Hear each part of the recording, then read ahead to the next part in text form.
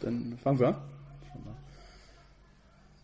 Alhamdulillah, alles Lob gebet Allah, dem Herrn der Welten, dem König der Könige, unserem Schöpfer, unserem Versorger, derjenige, der uns alles gegeben hat, was wir besitzen. Alles Lob gebet Allah für unsere Gesundheit, die uns geschenkt hat, für die wir nichts geleistet haben. Alles Lob gebet Allah, der uns unser Augenlicht gegeben hat. Alles Lob und Dank gebührt Allah, der uns unsere Eltern gegeben hat, damit wir zu ihnen gütig sein können. Alles gebührt Allah, der uns unsere Kinder gegeben hat, damit wir sie zu Gottesdienern erziehen können. Ich bezeuge, dass es keinen Gott gibt außer Allah. Er ist der Einzige, der der Anbetung würdig ist. Er ist ein Einziger. Er hat die schönsten Namen. Er hat die schönsten Eigenschaften. Er ist vollkommen in jeglicher Hinsicht. Und ich bezeuge, dass Muhammad Allahs Diener und sein Prophet und sein Gesandter ist. Gottes Segen und Heil und Barmherzigkeit sind auf den Propheten Muhammad sallallahu alaihi wasallam bis an den Tag, an dem kein Vater für die Sünde seines Sohnes aufkommen wird, noch ein Sohn für die Sünde seines Vaters. Liebe Geschwister, äh, ich werde heute inshallah äh, auf Deutsch reden. Äh, erstens, weil das so angekündigt worden war und zweitens, weil wir auch immerhin in Deutschland sind.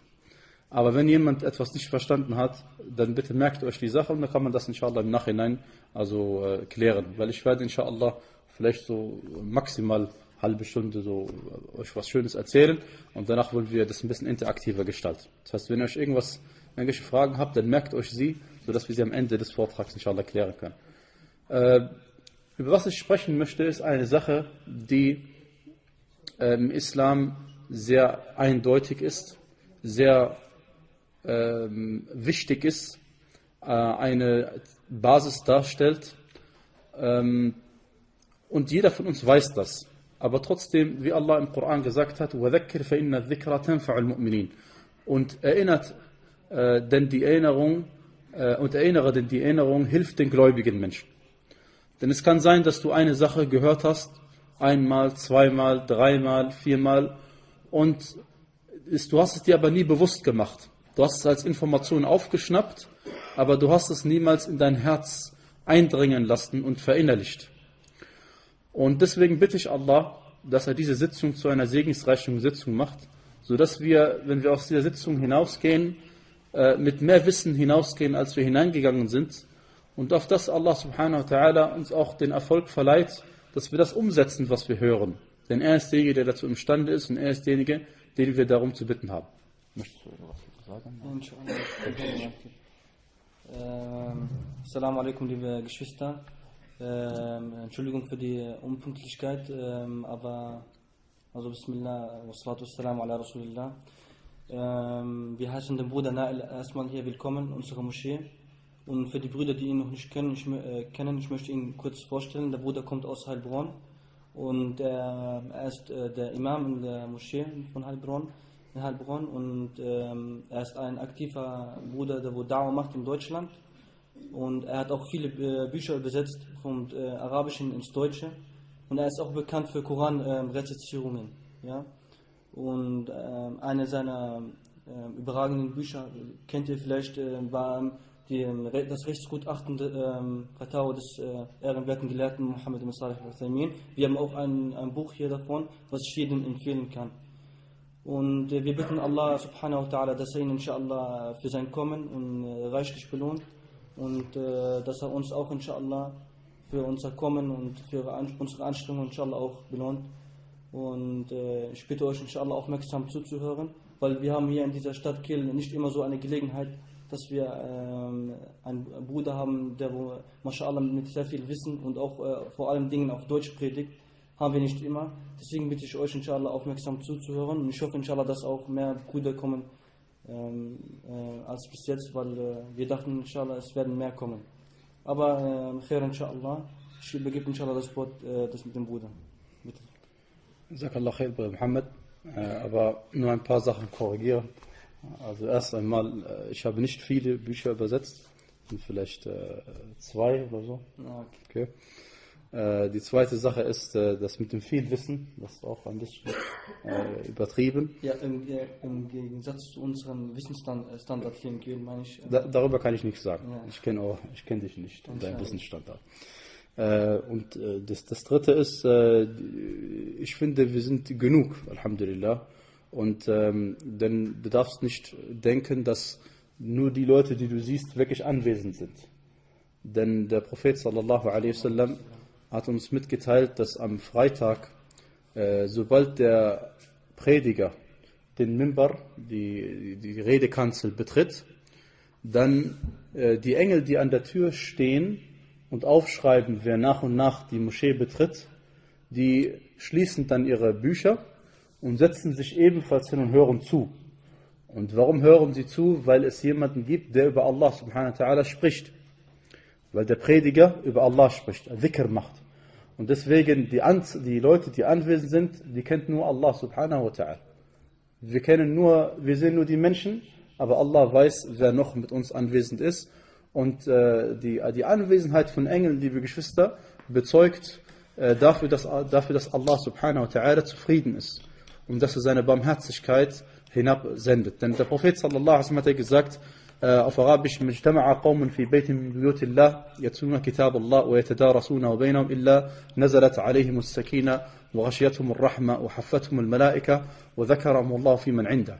Das heißt, der Prophet sallallahu alaihi wasallam sagt im Hadith, der authentisch überliefert ist bei Bukhari, bei Muslim, dass jedes Mal, wenn eine Gruppe von Leuten sich in einer der Häuser Allahs trifft, Allahs Buch liest und lehrt, dann steigt auf sie die Ruhe hinab. Die Barmherzigkeit umgibt sie und die äh, Barmherzigkeit umhüllt sie und die, und die Engel umgeben sie und Allah subhanahu wa ta'ala gedenkt, gedenkt ihrer in einer Sitzung, die äh, bei ihm ist, subhanahu wa ta'ala. Insofern, liebe Geschwister, äh, bitten wir Allah, dass er diese Sitzung zu einer segensreichen Sitzung macht. Äh, ich möchte anfangen heute, unser Ausgangspunkt ist ein Hadith des Propheten sallallahu alaihi wasallam. Denn die besten Sitzungen sind die Sitzungen, in denen Allahs gedacht wird. Und was gibt es Besseres, als dass man äh, sich aufhält bei einer Ayah aus dem Koran oder einem Hadith des Propheten sallallahu alaihi wasallam und schauen wir, was wir daraus lernen können und ableiten können für unseren Alltag. Ähm, um Abdullah, Aisha radiallahu ta'ala anha. Äh, die, äh, also die Mutter von, man nennt das Um Abdullah, das heißt die Mutter von Abdullah. Und Aisha radiallahu anha, äh, die Ehefrau des Propheten sallallahu alaihi wasallam und jüngste von ihnen allen, wir wissen, sie hat keinen Sohn gehabt und keine To- Tochter gehabt. Und trotzdem wird sie genannt Um Abdullah, die Mutter von Abdullah. Und das ist im Arabischen, macht man das und es erlaubt, dass man das tut, auch wenn eine Person kein Kind hat. Man macht das in der Hoffnung, dass eine Person ein Kind bekommt oder auch vielleicht andere Gründe, die es dafür gibt. Sie hat berichtet, dass der Prophet sallallahu alaihi wasallam folgendes gesagt hat. Er sagte, man ahdatha fi amrina hadha ma laysa minhu fahuwa. Das heißt, auf Deutsch ungefähr übersetzt, wer in unsere Angelegenheit irgendetwas Neues hineinführt, so wird diese Sache zurückgewiesen. Und in einer anderen Überlieferung heißt es, dass der Prophet, und dieser Hadith, den ich gerade erzählt habe, ist bei Bukhari und bei Muslim überliefert. Eine zweite Version dieses Hadithes befindet sich bei Sahih Muslim. Sie lautet, Man amila amalan, laysa alihi amruna fa huwa radd." Das heißt, wer etwas tut, was nicht zu unserer Angelegenheit gehört, dessen Tat oder dessen äh, neue Einführung wird abgewiesen, verworfen. Dieser Hadith, liebe Geschwister, ist, bildet einer der wichtigsten äh, Hadithe, die wir im Islam haben. Und dieser Hadith ähm, zusammen bildet mit, mit, mit dem Hadith von Umar ibn Khattab, in dem er sagte, dass jeder Mensch das erhält, was er beabsichtigt hat. Ihr kennt den ersten Hadith in Sahih al-Bukhari, wo der Prophet sallallahu alaihi wasallam gesagt hat, dass jeder Mensch erhält das, was er beabsichtigt hat. Dieser Hadith und der heutige Hadith, den wir uns heute betrachten werden, bilden äh, sozusagen das Grundgerüst dafür, dass Allah subhanahu wa ta'ala eine Tat von dir annimmt. Allah subhanahu wa ta'ala, damit er von dir eine Tat akzeptiert und annimmt, das heißt, dein Gebet akzeptiert, deine, dich dafür belohnt im Jenseits, am Tag der Auferstehung, am Tag der Abrechnung, muss man zwei Bedingungen erfüllt haben. Und diese beiden Bedingungen sind genau in diesen beiden Hadithen wunderbar deutlich erklärt. In dem ersten Hadith, den wir heute nicht uns genauer anschauen wollen, ist es die Absicht. Allah wird nie, niemals eine Tat akzeptieren, es sei denn, man hat sie für ihn ausschließlich gemacht. Sobald du etwas machst für jemanden anderes außer Allah und er nicht dein erstes Ziel ist und oberstes Ziel ist, wird Allah diese Tat von dir nicht akzeptieren. Und die zweite Bedingung dafür, dass Allah subhanahu wa ta'ala eine Tat akzeptiert, ist eben, was man auf Arabisch mit Al-Mutaba'a bezeichnet. Und das bedeutet Nachahmung. Dass man den Propheten sallallahu alaihi wasallam nachahmt in dem, was er getan hat. Und dieser Hadith, liebe Geschwister, ist ein, das eine ist sozusagen das Äußerliche. Wenn du betest, dann musst du das Gebet so verrichten, wie der Prophet sallallahu alaihi wasallam es vorgemacht hat. Und das andere ist das Innerliche. Das ist, was man nicht sehen kann. Das ist das Geheimnis zwischen dir und Allah. Wenn du im Gebet stehst neben deinem Bruder, dann weiß niemand, welche Absicht du hast, außer du selbst und Allah subhanahu wa ta'ala. Und Allah weiß deine Absicht sogar noch besser als du. Und niemand kennt deine Absicht, genauso wie du nicht die Absicht deines Nachbarn kennst. Und insofern ist es ein Geheimnis Allahs und er alleine weiß, welche Gebete er annimmt und welche Gebete er wiederum nicht annimmt. Dieser Hadith, liebe Geschwister, ist sozusagen wie eine, äh, kann man sagen, wie eine Armee. Dieser Hadith ist für den Islam wie eine Armee für ihr Land. Warum? Weil durch diesen Hadith wird der Islam verteidigt. Durch diesen Hadith wird der Islam beschützt. Durch diesen Hadith lässt man nichts am Islam verändern. Durch diesen Hadith darf niemand in den Islam reingehen, irgendetwas Krummes drehen. Durch diesen Hadith, liebe Geschwister, das Hadith ist ein Maßstab für dich, um zu wissen, ob das, was du tust, von Allah subhanahu wa ta'ala akzeptiert werden wird oder nicht. Dieser Hadith ist ein Maßstab für dich, zu schauen, wie nahe du an der Sunna des Propheten Muhammad sallallahu alaihi wasallam bist. Weil er sagte, mit, anderen, mit meinen Worten ausgedrückt, wenn du etwas tust, um Allah subhanahu wa ta'alas Wohlgefallen zu erlangen, und du tust es auf eine andere Art und Weise, wie ich es gemacht habe, der Prophet sallam, sagt das im übertragenen Sinne, dann vergiss es, äh, verschwende deine Zeit nicht, Allah wird deine Taten niemals annehmen. Und jetzt könnte man sich fragen, reicht es denn nicht aus, dass man eine gute Absicht hat? Reicht es denn nicht aus, dass man sagt, ich habe das für Gott getan? Wird Gott das nicht akzeptieren, allein schon, wenn man eine gute Absicht gehabt hat? Die Antwort, liebe Geschwister, ist nein. Die Antwort ist nein. Und das beste Beispiel dafür sehen wir in den Völkern, die vor uns gelebt haben.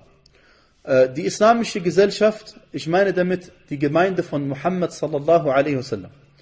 Wenn wir von der Gemeinde von Muhammad sallallahu alaihi wasallam sprechen, dann meine ich damit diejenigen Menschen, die seit irgendwann seit 1400 Jahren gelebt haben bis zum Tag der Auferstehung. Das ist die Gemeinde von Muhammad sallallahu alaihi wasallam.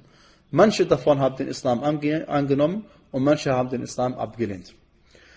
Diese Gemeinschaft, vorher gab es ja andere Gemeinschaften. Zum Beispiel die Gemeinschaft der Kinder Israels zur Zeit von Moses oder die Kinder Israels zur Zeit von Jesus. Möge Allah mit ihnen beiden äh, zu reden sein und ihnen Heil und Segen schenken. Diese beiden Propheten, Musa und Isa, Moses und Jesus, Gottes Segen und Heil auf ihnen beiden. Das, was sie den Menschen gelehrt haben, ist das das Gleiche, was die Leute heutzutage in den Synagogen und in den Kirchen predigen und tun? Hat Jesus Christus, Gottes Segen und Heil auf ihm, hat er wirklich in den, in den, in den, äh, in den Kirchen äh, ein, ein Musikinstrumente gespielt oder spielen lassen oder die Orgel spielen lassen oder ein Orchester gehabt, ein Musikorchester gehabt und Leute, die singen und weiß nicht was und ein Altar und so weiter und so fort? Ist das die Religion, die Jesus Christus den Menschen überbracht hat?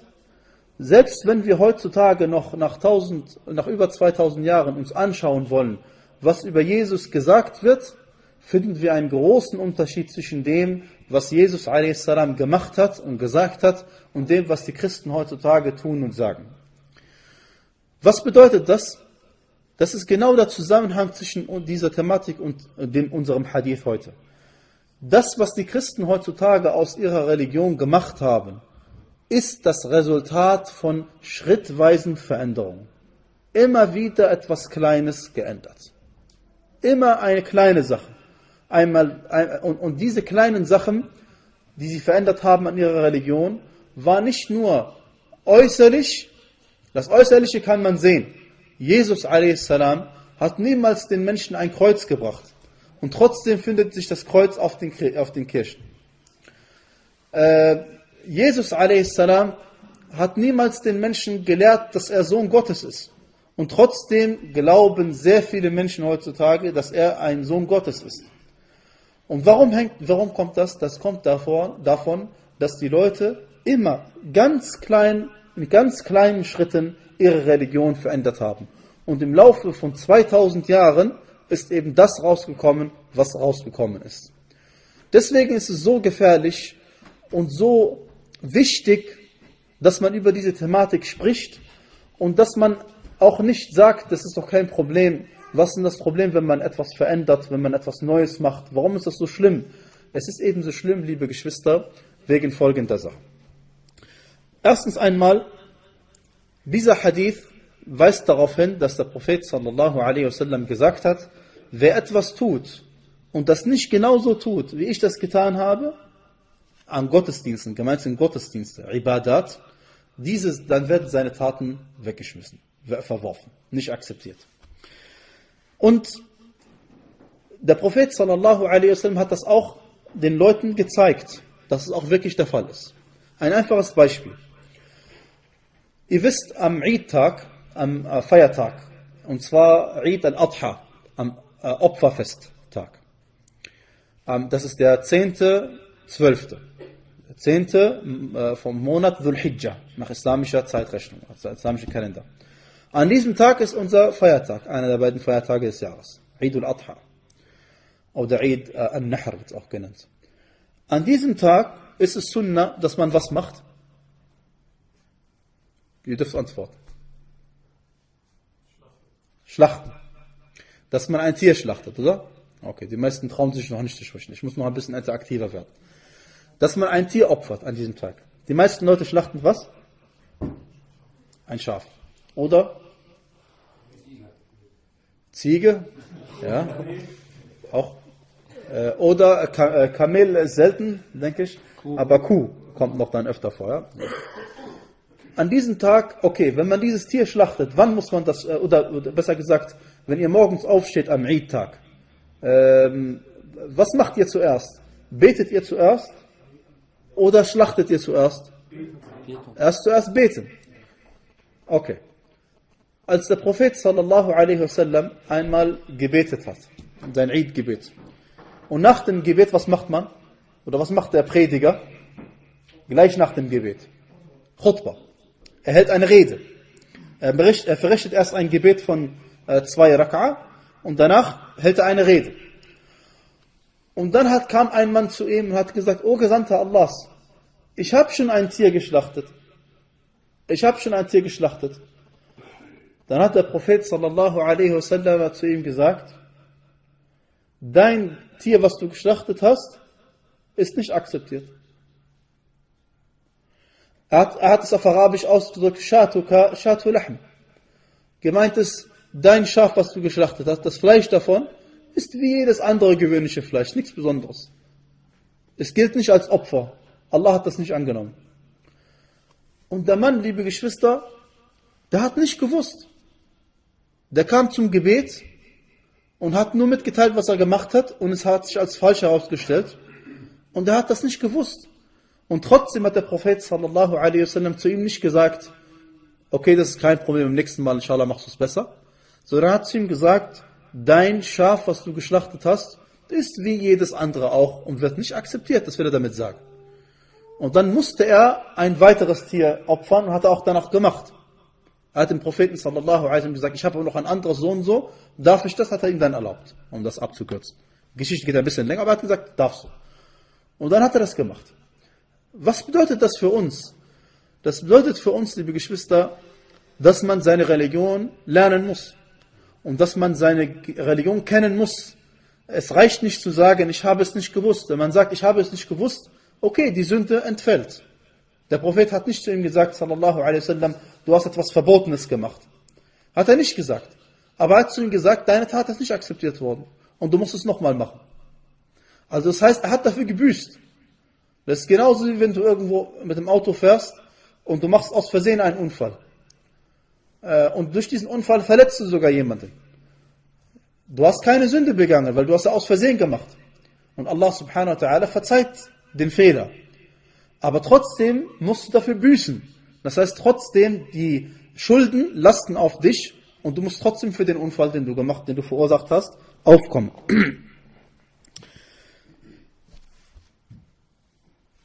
Ein zweiter Aspekt, den wir dringend ansprechen müssen bei diesem Thema, und zwar geht es ja noch einmal, das kurz zusammenzufassen, es geht darum, dass unsere Religion müssen wir so nehmen, wie sie ist. Und wir dürfen nicht sagen, wir dürfen nichts Neues hinzufügen.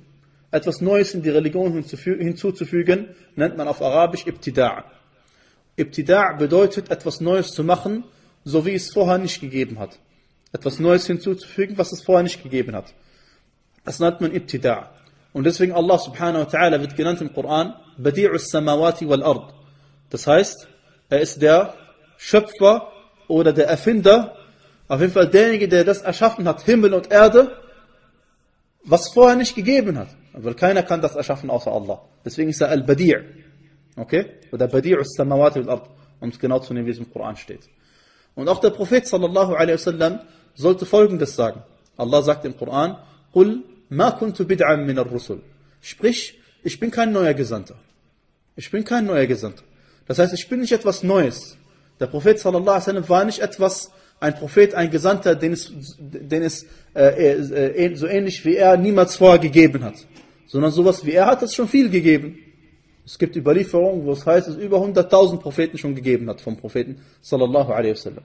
Er war nichts Neues. Und im Koran kennen wir namentlich sind 24 außer dem Propheten sallallahu alaihi wasallam erwähnt worden. Deswegen sagt er, ich bin kein Bid'a, äh, also ich bin kein, kein, keine neue Sache. Ich bin keine neue Sache in der Religion, die es vorher nicht gegeben hat. Aber jetzt müssen wir aufpassen. Heißt es, dass jede neue Sache, jede neue Sache ist verboten und verpönt und nicht erlaubt? Das kommt jetzt drauf an. Wir unterscheiden zwischen Dingen, die Teil der Religion sind und die man tut, um Allah subhanahu wa ta'ala näher zu kommen und zwischen Dingen, die Mittel zum Zweck sind. Was heißt diese Philosophie? Das heißt nicht anderes, guck mal, ich kann, äh, damals, zur Zeit des Propheten sallallahu alaihi wasallam, wie ist der Prophet sallallahu alaihi wasallam in die Moschee gegangen? Er hat seine Tür aufgemacht, ist reingelaufen, weil ihr wisst, sein Zimmer wo er gewohnt hat, das war ja direkt an der Moschee geklebt. Und die Leute, die von weitem weggekommen sind, wie sind sie gekommen? Indem sie zu Fuß gekommen sind oder, mit, oder geritten sind sie. Heutzutage, ich bin sicher, ein Großteil von uns ist entweder mit dem Fahrrad gekommen oder ist gekommen mit dem Auto. Und man kann sogar, sogar fliegen heutzutage. Jeder von uns, der nach Mekka geht, normalerweise gehe ich davon aus, dass die meisten von uns die nach Mekka gegangen sind bis jetzt, die sind dorthin geflogen. Das ist auch eine neue Art und Weise, wie man in die Moschee geht. Aber ist diese Sache auch verboten und verpönt? Die Antwort ist nein. Weil dies, das Gehen in die Moschee ist Mittel zum Zweck. Das ist eine Wasila, auf Arabisch nennt man das. Das heißt, man beabsichtigt, es geht nicht um das Gehen an sich. Das Ziel ist die Moschee, das Ziel ist das Gebet in der Moschee. Ein anderes Beispiel. Unser Prophet sallallahu alaihi wasallam hat er früher, als er gesprochen hat, ein Mikrofon verwendet, wie wir heute ein Mikrofon verwenden? Hat der Bilal radiallahu anhu oder Ibn Umm Maktum, die beiden, die den Adhan gemacht haben für den Propheten sallallahu alaihi wasallam, haben sie, haben sie ein Mikrofon gehabt, mit dem sie den Adhan durch die Lautsprecher nach außen getragen haben? Nein. Und deswegen, diese Sachen zu verwenden, ist keine Bid'a, ist keine verbotene Neuerung. Warum? Weil sie sind Mittel zum Zweck. Die eigentliche Ibadah ist der Adhan. Die eigentliche Ibadah ist der Gebetsruf an sich. Und diesbezüglich, äh, ein weiteres Beispiel ist äh, der Koran. Der Koran, liebe Geschwister, zur Zeit des Propheten sallallahu alaihi wasallam, war, war, war verteilt auf Papierfetzen, auf äh, Knochen geschrieben, auf äh, Palmblättern geschrieben, auf äh, weißen Steinen geschrieben verteilt unter den Sahaba. Der eine kannte den Teil vom Koran, der nächste kannte den Teil vom Koran, der nächste hat den Teil aufgeschrieben vom Koran, der nächste hat einen anderen Teil aufgeschrieben vom Koran und manche haben das gleiche aufgeschrieben vom Koran und so weiter und so fort. Zur Zeit von Abu Bakr radiallahu ta'ala anhu, dem ersten Khalifa, dem ersten Kalifen, was haben sie gemacht? Sie haben all diese verschiedenen Fragmente des Koran gesammelt und an eine Stelle ge gesetzt. Und da haben die Sahaba auch, bevor sie das gemacht haben, obwohl das eine Sache ist, würde man sich heute, heutzutage wird doch wahrscheinlich keiner darüber diskutieren, dass es eine gute Sache ist. Dass der Koran, der zerstreut ist unter Tausenden von Leuten, oder Hunderten, Allahu Alam, oder, zig Leuten, dass man ihn sammelt an einem Ort und Stelle, dass man weiß, das ist der gesamte Koran. Da wird doch keiner sagen, das ist etwas, etwas, etwas, worüber man lange nachdenken muss. Aber trotzdem, liebe Geschwister, die Sahaba haben damit mit Abu Bakr diskutiert. Sie haben zu ihm gesagt, wie kannst du etwas tun, was der Prophet sallallahu alaihi wasallam nicht gemacht hat? Und dann haben sie lange diskutiert und irgendwann hat Abu Bakr radiallahu anh sie überzeugt, dass es doch eine gute Sache ist und nichts Verbotenes ist. Und der Grund ist, liebe Geschwister, wieder, das ist wie gesagt, was wir daraus lernen, ist, weil der Koran ist, das ein, ist die eigentliche Ibadah. Gemeint ist das Koran lesen, danach handeln und so weiter und so fort. Ob er jetzt zerstreut ist oder ob man ihn an einer Stelle findet, das ist nur Mittel zum Zweck. Und sogar ist es einfacher für uns, dass wir heutzutage den Koran in einem Buch, Alhamdulillah, lesen können, anstatt dass wir ihn in verschiedenen äh, Fragmenten vorfinden würden. Ähm, Jetzt, jetzt mag jemand sich fragen, ist es denn wirklich so schlimm, wenn man etwas anders macht, als der Prophet sallallahu alaihi es gemacht hat? Wer diese Frage stellt, soll sich folgende Sache mal bewusst machen. Was ist eigentlich der Sinn davon, dass unser Prophet Muhammad sallallahu alaihi wasallam zu den Menschen geschickt worden ist? Ist es nicht derjenige, dass er den Leuten die Religion Allahs beibringen soll? Ist es nicht derjenige Grund, dass der Prophet sallallahu alaihi wasallam den Menschen beibringen sollte, wie sie Gott anzubeten haben? Woher soll ich denn wissen, was Gott will von mir? Woher soll ich denn wissen, was halal ist und was haram ist? Woher soll ich denn wissen, dass Gott von mir möchte, dass ich ihn fünfmal pro Tag anbete? Woher soll ich denn wissen, dass das Dhuhr-Gebet soll vier Raka'at, Asr vier, Isha vier, Maghrib drei, Fajr zwei? Woher soll ich das wissen? Wenn der Prophet sallallahu alaihi wasallam es mir nicht mitgeteilt hat. Und wenn, er es, wenn der Grund seiner Entsendung derjenige ist, dass er uns mitteilt, wie man die Ibadah zu verrichten hat, dann macht es doch keinen Sinn, dass ich komme und sage, naja, äh, wir, können ruhig ähm, einen, einen neuen Gottesdienst einführen. Ich werde euch Beispiele dafür bringen, was die Leute heutzutage an Neuerungen eingeführt haben. Aber bevor ich euch diese Beispiele nenne, möchte ich euch erst einmal äh, dahin führen, dass ihr versteht, wie gefährlich es ist, etwas Neues zu machen in der Religion. Und dass man nicht einfach sagt, ist doch nicht so schlimm. Ist doch nicht so schlimm, kann man doch ruhig machen.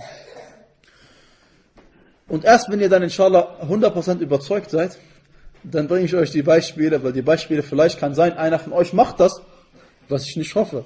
Aber wenn ich das Beispiel am Anfang bringe, dann kann sein, jemand sagt, nein, auf keinen Fall, das ist Quatsch, was der erzählt da vorne. Der will uns nur etwas Neues beibringen. Aber wenn ich euch erstmal erklärt habe, was ich sagen möchte, dann werdet ihr inshallah das, äh, und das ist auch eine wichtige Sache bei der Da'wah, liebe Geschwister, dass man jemandem äh, manchmal nicht direkt sagen kann, pass auf, das, was du machst, ist falsch. manchmal muss man ihn erstmal dahin führen und ihm erklären. Und da gibt es eine schöne Erzählung, äh, es, äh, die, die ich nur als anschneiden möchte, falls jemand sie kennt, dann freut er sich darüber. Und zwar die Geschichte darüber, dass, und Allah weiß, äh, muss man nachschauen, ob die authentisch ist, und zwar von Al-Hassan und Al-Hussein radiallahu anhuma, dass der eine dem anderen, der, dass sie beide einen Mann beobachtet haben, wie er den Wudu vollzieht, wie er die Gebetswaschung vollzieht, und er hat es aber nicht so richtig gemacht. Und anstatt dass sie es ihm direkt gesagt haben, wie das geht, haben sie es ihm erst vorgemacht, indem sie zu ihm gesagt haben, pass mal auf, Onkel, äh, kannst du uns mal beobachten, wir beide wollen den Wudu vormachen und sag uns, wer von uns beiden macht es besser. Dann hat der Mann die beide beobachtet, der erste hat gemacht, der zweite hat gemacht. Der Mann hat dann gesagt, er hat dann gesagt, wisst ihr was, ich habe schon verstanden, was ihr eigentlich wollt. Ihr beide habt es richtig gemacht, ich bin derjenige, der es falsch gemacht hat. Und das war eine der schönsten Möglichkeiten, wie man, äh, wie es jemandem beibringt, etwas richtig zu tun. Weil wenn man es ihm direkt sagt, ich meine, wie alt waren denn die beiden? Die waren, die waren ganz, ganz jung. Ja, als der Prophet sallallahu alaihi gestorben war, waren sie noch sehr, sehr klein. Viel kleiner als zehn Jahre alt. Und wenn sie das einem äh, alten äh, Onkel sagen, pass mal auf, du machst das falsch, ich weiß nicht, wie sehr äh, jemand mit äh, im Alter, hohem Alter so etwas akzeptieren wird. um die Gefährlichkeit noch mehr zu verdeutlichen und euch ein realistisches Beispiel zu zeigen, wie die Freunde des Propheten sallallahu alaihi wasallam das aufgefasst haben, möchte ich euch äh, zwei Aussagen äh, präsentieren, nachdem ich kurz was getrunken habe.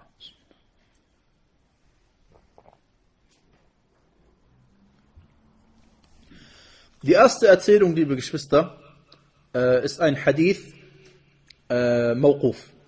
Das heißt, dieser Hadith äh, ist eine Aussage eines Freundes des Propheten sallallahu alaihi wasallam.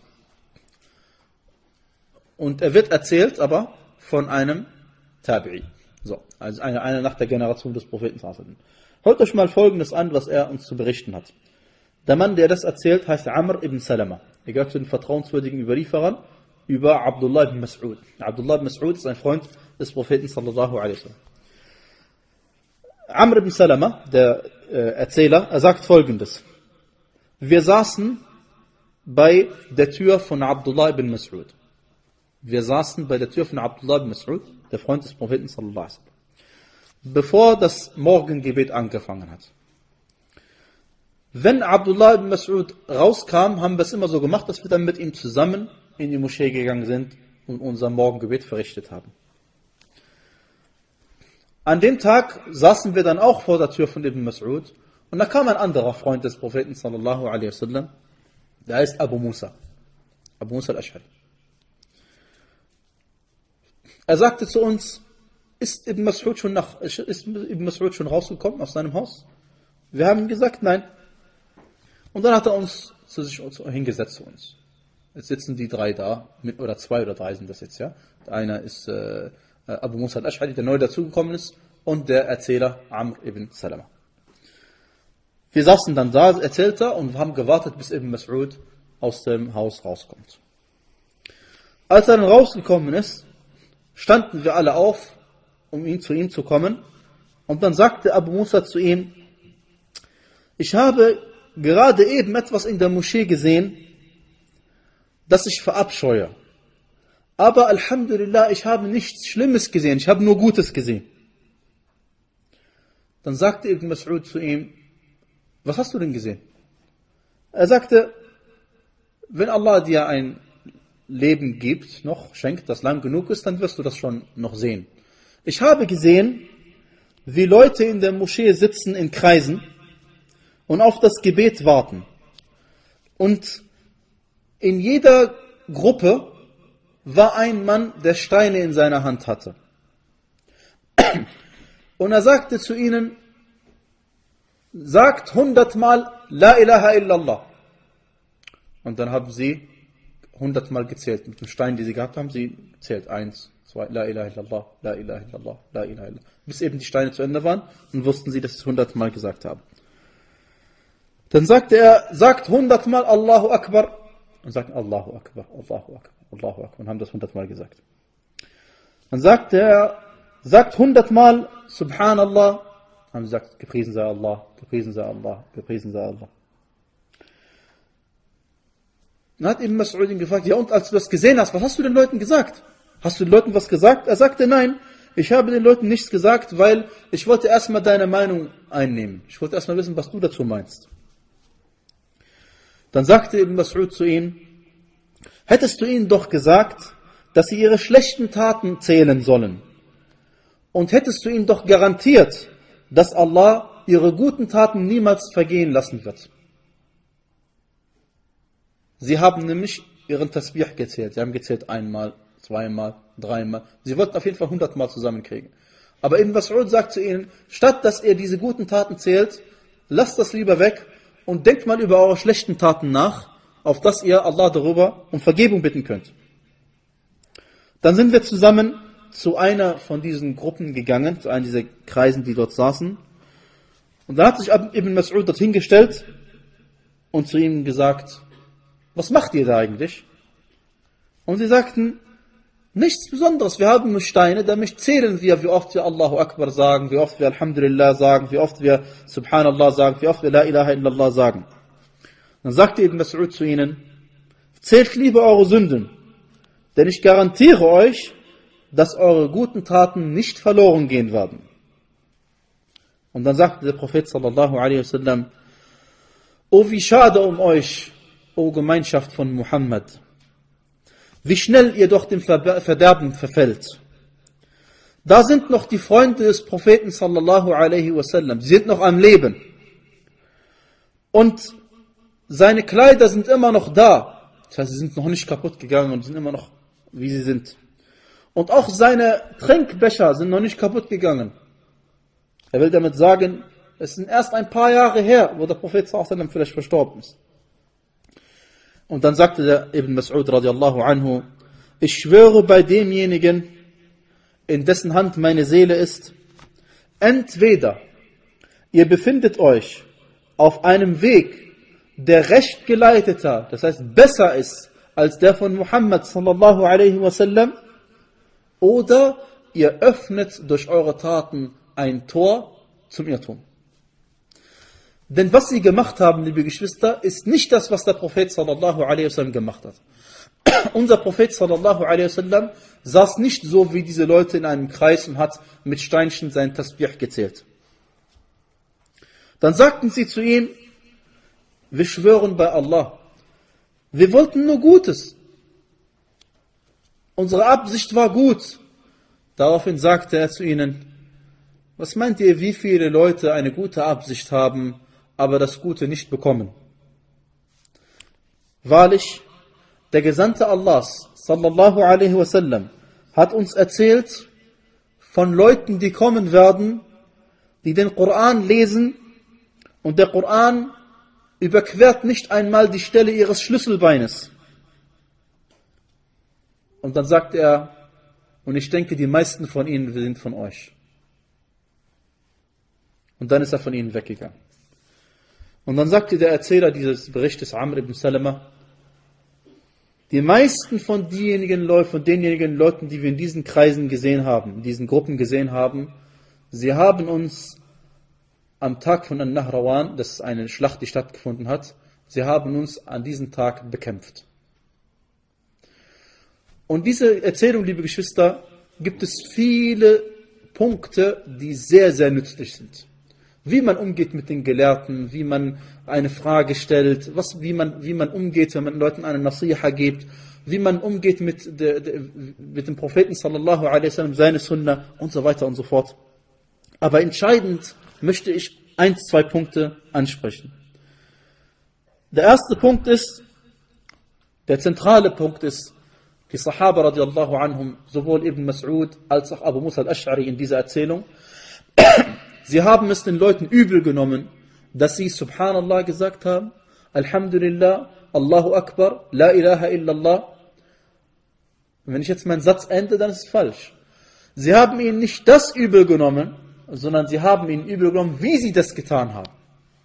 Wie sie das getan haben. Das ist der entscheidende Punkt. Und deswegen sagte Allah subhanahu wa ta'ala in Surat al-Ghashiyah, Hal ataka hadithul Ghashiyah, ist zu dir die Nachricht über die Überdeckenden gekommen? Wujuhun yawma idin khashi'ah, Gesichter werden an jenem Tag demütig sein. Amilatun nasibah. Das heißt, sie, sind, sie haben viel geleistet und erschöpft sind sie von ihren Taten, die sie gemacht haben. Sie haben viel getan. Tasla naran hamiyah. Und sie werden in ein loderndes, brennendes Feuer eingehen. Warum? Weil das, was sie getan haben, ist nicht so, wie der Prophet sallallahu alaihi wasallam es ihnen vorgemacht hat. Der zweite Punkt in dieser Geschichte ist, sie haben gesagt, unsere Absicht ist gut, wir wollen nur Gutes. Und das ist die Antwort jeder Person, die etwas macht, anders als der Prophet sallallahu alaihi wasallam. Auch unter den Juden und den Christen gibt es Leute, die Ikhlas haben. Das heißt, Leute, die etwas machen, nur für Allah subhanahu wa ta'ala. Und vielleicht sogar ihr Leben opfern dafür. Aber sie machen es eben nicht so, wie der Prophet Muhammad sallallahu alaihi wasallam es vorgemacht hat. Weder das Gebet, noch ihr Fasten. Das Fasten von den Juden und Christen war genauso wie das Fasten von uns. Der Prophet sallallahu alaihi wasallam sagte, Faslu ma bayna siyamina wa siyami ahli al-kitab akalatus sahar. Der Unterschied zwischen dem Fasten, wie wir es tun, und dem Fasten der Völker der Schriften vor, uns, ist, dass wir im letzten Teil der Nacht eine Mahlzeit zu uns nehmen, as-Sahar, as-Sahur. Und guckt, was sie heute machen. Heutzutage, sie fasten, indem sie auf bestimmte Sachen 40 Tage lang einfach verzichten.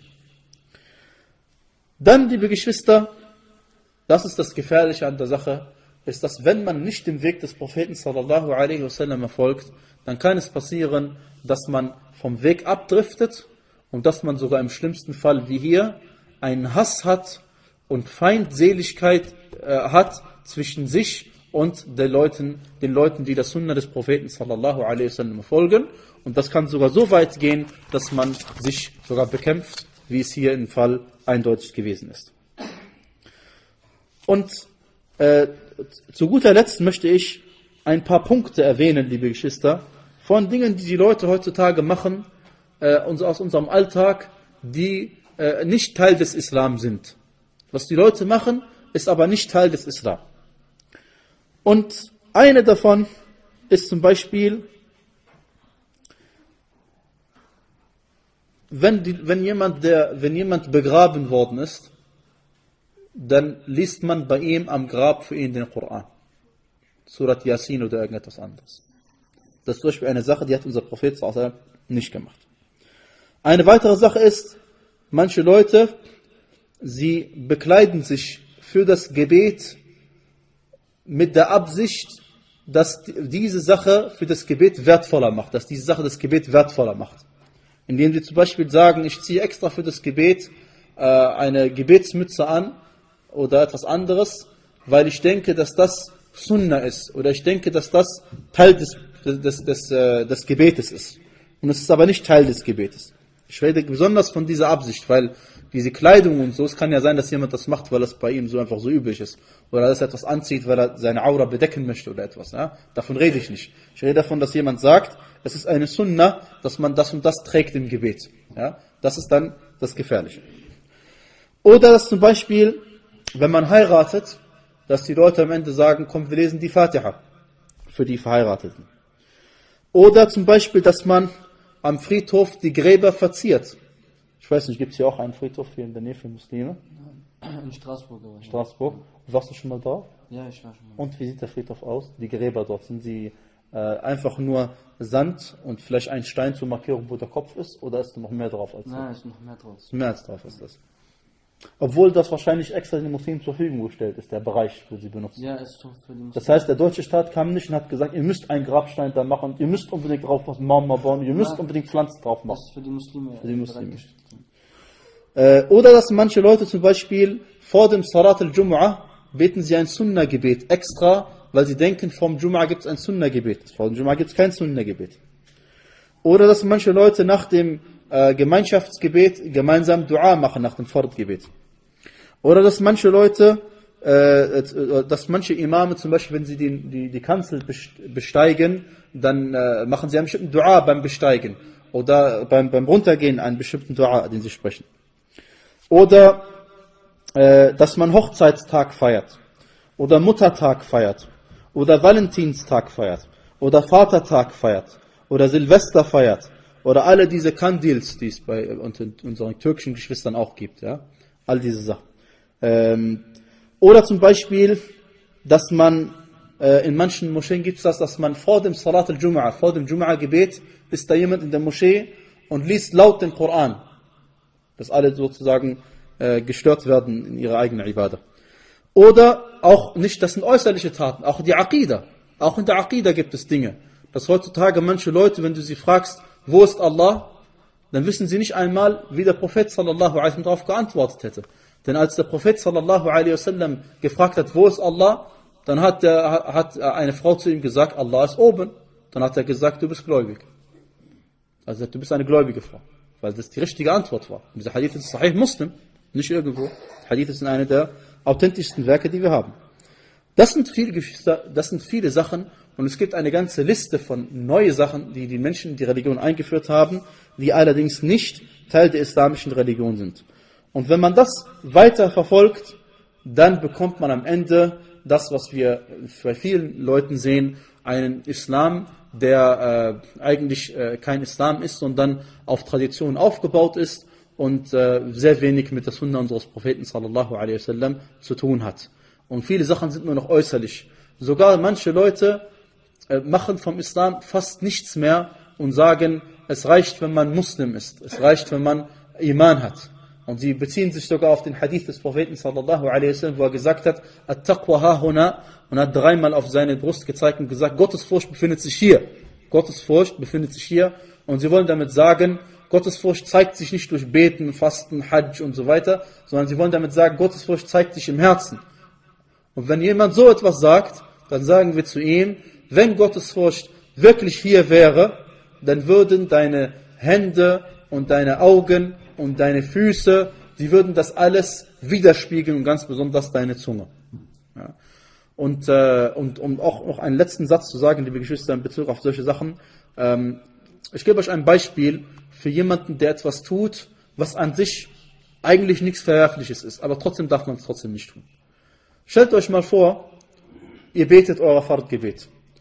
Und bevor ihr euer Gebet endet, bevor ihr, bevor ihr Assalamu alaikum wa rahmatullah und Assalamu alaikum wa rahmatullah sagt, in dieser Phase hat der Prophet sallallahu alaihi wasallam gesagt, ثم ليتخير من المسألة ما شاء. Und jetzt darf, er sich, jetzt darf man sich aussuchen, also der Prophet hat gesagt, jetzt darfst du Bittgebete sprechen, welche du möchtest. Wenn du mit, äh, mit dem, mit dem äh, Tahiyatu Lillah und As-Salat al-Ibrahimiyya fertig bist, danach darfst du bis zum Taslim Bittgebete sprechen, welche du möchtest. Stellt euch mal vor, jemand sagt, in dieser Situation möchte ich Bittgebete sprechen und dabei mich niederwerfen, im Sujud gehen. Und dann fragst du ihn, sag mal, warum machst du das? Wir alle sitzen und du gehst im Sujud, das geht doch nicht. Dann sagt er zu dir, doch, der Prophet sallallahu alaihi wasallam hat gesagt, und das stimmt doch, hat auch wirklich gesagt, أقرب ما يكون العبد من ربه وهو ساجد. man ist, der Diener ist seinem Herrn am nächsten, wenn er im Sujud ist. Aber was haltet ihr davon, dass jemand da im Sujud geht, alle anderen machen das nicht? Er hat einen Beweis aus dem Sunnah des Propheten. Aber hat er das richtig verstanden? Die Antwort, ist, die du ihm geben sollst, ist ganz einfach. Je nachdem natürlich, wie gebildet er ist. Aber die einfachste Antwort ist, du sagst zu ihm, pass mal auf, mein Freund. Derjenige, der das gesagt hat, das heißt, dass man im Sujud Allah am nächsten ist, der hat das, was du getan hast, nicht getan. Fertig. Das heißt, wenn der Prophet sallallahu alaihi wasallam etwas nicht getan hat, dann kann es auch nicht Teil des Islam, Teil einer Ibadah gewesen sein, denn er hat uns auf alles Gute hingewiesen. Und das ist die Sache, liebe Geschwister. Ich habe noch viel mehr, was ist da eigentlich darüber zu, zu sagen, nicht viel mehr, um einiges noch gab, aber ich denke, wir machen diesen Punkt, damit wir auch, was ist ein bisschen, äh, dass es ähm, die Geschwister mit einbeziehen, inshallah. Barakallah fikum, liebe Geschwister, für eure Aufmerksamkeit. Möge Allah euch belohnen für eure Geduld, die ihr gezeigt habt. Verzeiht mir, wenn ich ein bisschen länger gesprochen habe, als eigentlich geplant war. Aber ähm, möge Allah äh, uns verzeihen, so oft treffen wir uns nicht hier, inshallah, dass wir das äh, nicht ausnutzen dürften. Barakallah fikum. Jazakallah khairan. Barakallah fikum.